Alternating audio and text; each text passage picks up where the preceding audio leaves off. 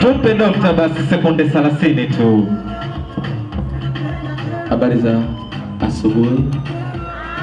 Huu ugonjwa unaitwa Amanda complication, Manake kwa Kiswahili yaani ugonjwa ambao unatokana na uvimbe muda wote unatokwa na damu, lakini huwezi kupona mpaka uangalie Amanda.